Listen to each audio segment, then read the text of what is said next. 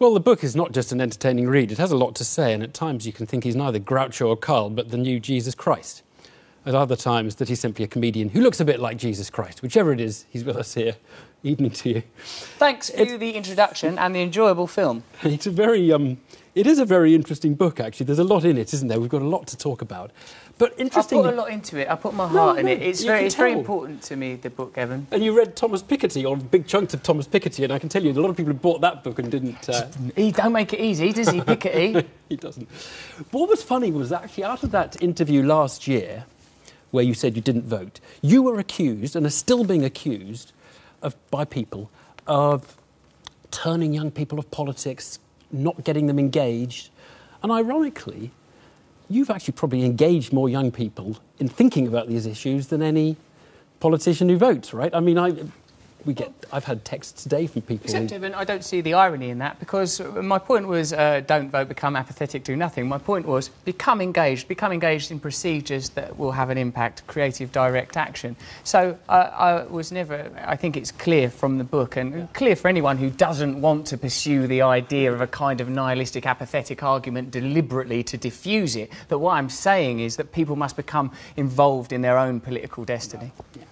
Now, look, let's, for people who haven't read the book and, or who haven't seen the previous interviews or haven't followed this, let's just go through some of the things, the enemies in the book. Let's just go through them. So, who don't you like? What are the, what are the big enemies. You mean what do I think are yeah, the challenges in, in, in we the face? Book, who, no, yeah, who are the th- well, who are the objects of your? Uh, it's not objects. Because I'm trying not to approach this in a negative way. I've just come from uh, Parliament Square or Tarpaulin Square, as it's become known by the successful Occupy movement, who are currently there, who are dealing with the police politely and lovingly. And this is a, a new kind of political movement, and precisely the kind of political movement that we want to encourage, where people are disillusioned with traditional, conventional politics that doesn't represent us, the ordinary people, that might be fun for those of us that work in media to chat about, or people with columns, or people with loads of money and big corporations. But for ordinary British people, they don't feel that they're being represented. No one wants the NHS dismantled. My mate Lee, who's a fireman in Grays, who's like the, the fire brigade union, can't get no coverage in the, in the media, who are facing terrible cuts, who can no longer do their jobs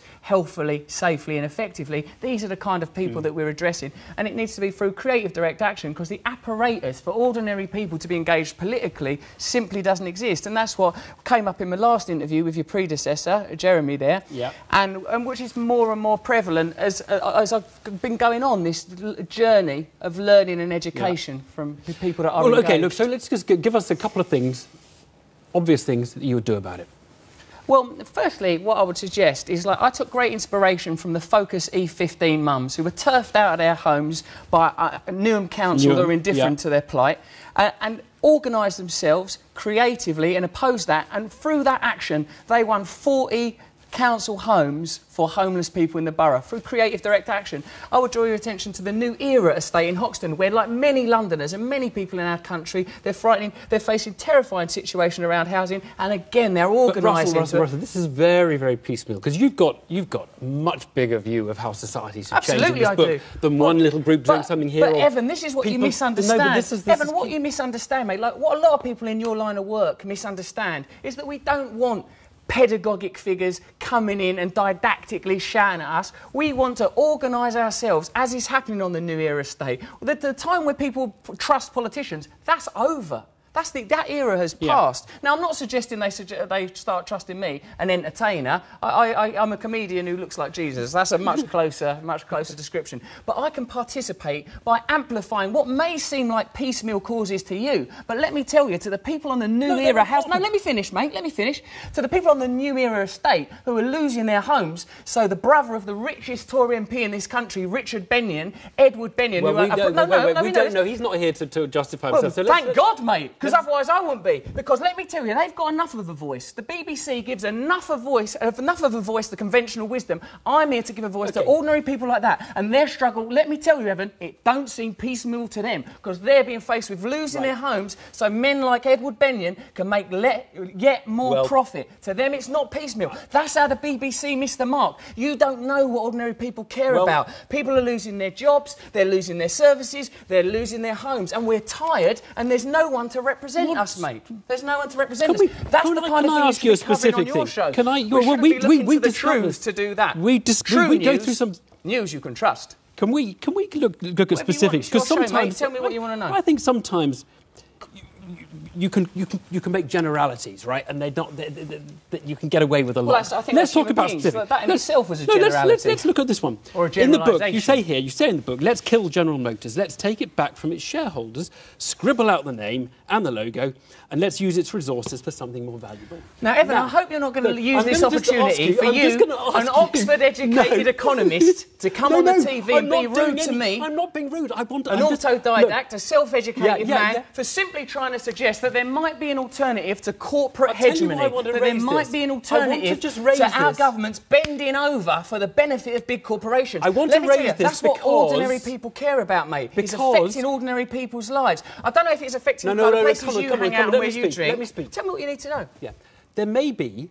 I mean, you're very good in this book, Thanks. and, and you're going to get a lot of praise for the way you document. want praise, no, I wait, want change. You're going to get a I lot of praise change, great, for but I want identifying a lot that people don't like about society at the moment. Mm-hmm. It's very easy to spot things that are wrong with society at the Sure, moment, right? absolutely. Easy. we have the course it is. bejeweled bus you talk about. 85 people Yes, in the world who have as much as 55 billion. What's Let your me point, finish. Evan? What's your My point, point is, Come on. You might you Sharpen propose, up, you're in big shoes. You propose another system, and it might be that your system is better. Yes. Or it might be that you haven't had the imagination to think about the problems that the other system has. So I'm trying to get into a detail here, which What, you you, want I to lack take. imagination? That's no, your accusation? My, my, my, my- What's the problem with I my want to take an example of something you Take the example. Take take General example. Motors from its shareholders. Absolutely. Do you know who owns it? The United Auto Workers Union owns a chunk of it. The Canadian government owns a chunk of it. You take it from them, and they're Evan, are you seriously telling me that the corporate world, companies like Monsanto and Pfizer, are operating on behalf of us, ordinary people? is that your is- argument? Are you coming on Newsnight, a great British institution, to say that corporations like Vodafone, Amazon, Sometimes, Google, yes. don't pay their tax in this Sometimes, country, yes. who are aided and Sometimes, no. assisted by our government, while people fill the squares arrested for possessing tarpaulin so they can peacefully protest, you want to say that corporates are getting a rough ride? I don't Evan, say they're getting a Evan, rough mate, ride. Look, I you've want got a proper ask- job. My, I want to ask you. No, ha- why don't you what answer you some propose- questions? I want to ask what you propose the people who own General Motors should do when you have Mate, taken I don't want to follow you down blind alleys about silly administrative Okay. quibbles. Let me be absolutely Okay, clear. let's- let's I don't that. trust Let's politicians. No one does. I don't trust the corporations in this country that you inadvertently work for every time you take this line with me. Uh, what I'm saying is that people can run their own workplaces, people can run their own communities. The people of this country have been patronised enough, mate, and let's not do it in this interview. You, you have another one. I'm not patronising anybody. Good. You say you, you want General Motors to stop making cars that break down in a few years. Mate, you carry like so look, they can sell all of them. Well, do you Yeah. really believe that cars are made to break down? What, built-in obsolescence? Yeah, I believe in built-in obsolescence, don't you? Well, You I, don't I tell you what, when we when I believe was in a a kid, capitalist when I was a system kid, people make deliberately Well, it's exploit- funny Any one when of I was us- a kid, we went on holiday. We could barely guarantee to get You're back much more tactile than the Jeremy geezer. 'cause- He hated it when I touched his legs. The, the cars, the cars were so unreliable, they've become much more reliable. And I sort of think the companies that made obsolescent you think- cars went out of business. You think that, do you? Well, I, You I'm, honestly I'm, think I that? posit that as at least a theory Right, of look, capitalism I don't, that look, have. I don't want to. I'm not going to sit here with you. I know you know that capitalism isn't working. I know I think it's you got a know lot of that a system that requires quantitative easing to hold it together, while energy companies are subsidised by our taxes, while renewable energies are ignored. I know you can't support that system, Evan. I know you're like you're, you're mates me- with like me- CEOs and big let me business bring up figures. a graph. I've got a don't want to look at a graph, No, look, mate. I ain't got time for a bloody graph. Well, this is what I want to take this opportunity to talk to the people of this no, country and tell them to get involved in creative direct action. That's is- a lovely graph. it goes back well to done, mate. This is the kind of stuff that people like you No, no, use not. to confuse people like us. Oh, I've got a graph, mate. I'm not trying to confuse you. You've not just come from the new era estate where Boris Johnson, who takes five times more meetings a do you know- year with bankers than he does ordinary people, we've got a graph. Everything's tidy. trying to just take you seriously, and I'm, I'm, I'm really, really Okay, trying. well, tell me so what the you graph wanna do with the shows graph. is- is- it shows real wages and uh, how people's wages have gone up over the last Evan, 150 do years. you ever go and it's outside? terrible. Just look at the right-hand side. I'm on your side here. Look